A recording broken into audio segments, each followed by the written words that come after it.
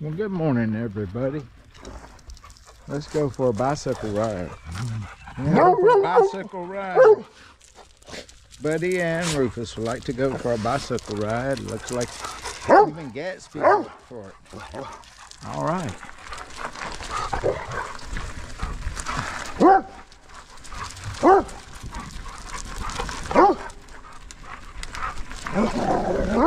Come on, be nice. Don't bite.